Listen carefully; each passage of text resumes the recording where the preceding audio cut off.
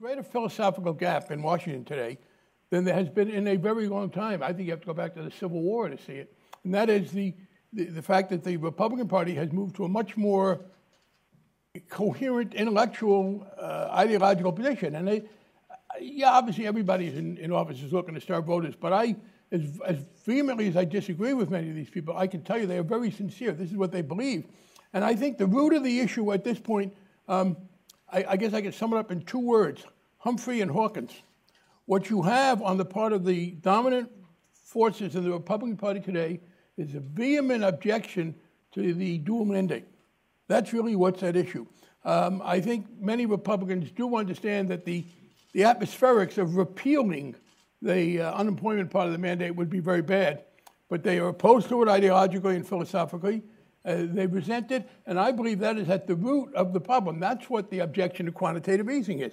It is not that they are abusing their mandate, frankly, but that they are carrying it out. And I think that's the issue.